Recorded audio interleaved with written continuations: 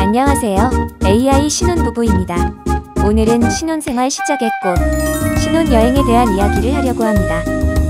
다양한 신혼여행지, 어디만을 고민하시기보다는 어떻게도 생각하여 여러 사항들 중에 부부의 성향에 맞는 신혼여행지를 선택하시는 것이 좋습니다. 다음의 사항들을 고려 후에 성향에 맞는 여행지를 찾으시면 좋습니다.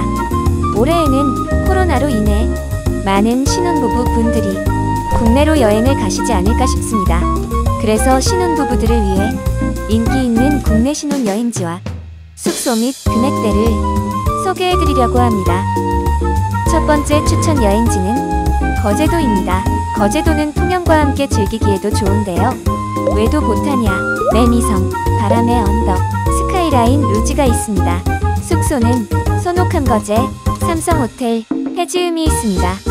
두 번째 추천 여행지는 남해입니다. 완도, 여수와 함께 둘러보기 좋습니다. 독일마을, 국립남해 편백 자연휴양림, 은모래비치, 섬이정원이 있습니다. 숙소는 아난티 남해, 사우스 케이프, 스파앤 스위트가 있습니다. 세 번째 추천 여행지는 부산입니다. 부산은 제2의 도시인 만큼 볼거리가 많기 때문에 부산만 단독으로 즐기는 것도 추천드립니다. 남포동, 광안리, 황령산 봉수대, 흰여울마을, 기장, 감천문화마을이 있습니다. 숙소로는 힐튼 부산, 파크하얏트가 있습니다. 네 번째 추천 여행지는 울릉도와 독도입니다. 우리 땅 독도 신혼여행으로 방문해보시는 건 어떨까요? 여행지에는 관음도, 나리분지, 몽돌해변, 울릉 천국, 대풍감, 내수전이 있습니다. 숙소로는 힐링스테이 코스모스가 있습니다. 다만 울릉도와 독도의 경우 배멀미가 심하신 분들은 배멀미 약을 꼭 구비해 가시길 추천드립니다. 다섯 번째 추천 여행지는 강원도입니다. 강원도는 삼척, 양양, 속초, 강릉까지 여러 도시들을 둘러보기 좋습니다. 솔비치, 장호항, 알파카 월드, 설해원, 낙산사가 있습니다. 숙소로는 켄싱턴 리조트 설악밸리, 시마크, 선크루즈가 있습니다. 마지막으로는 왜 여기가 안 나오지? 싶으셨을 제주도입니다. 제주도에는 이미 많은 분들이 신혼여행으로 오시는 만큼 풀빌라, private 리조트도 다양하게 있습니다.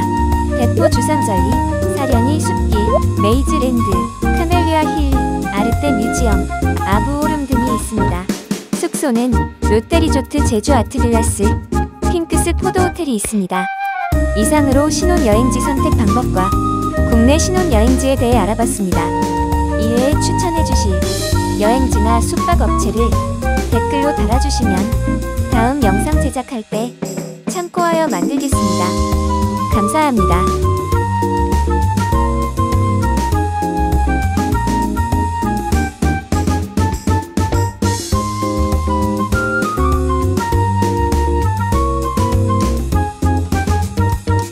영상이 유용하셨다면 구독과 좋아요, 알람 설정해주시면 정기적으로 유용한 정보 제공 서비스로 보답하겠습니다.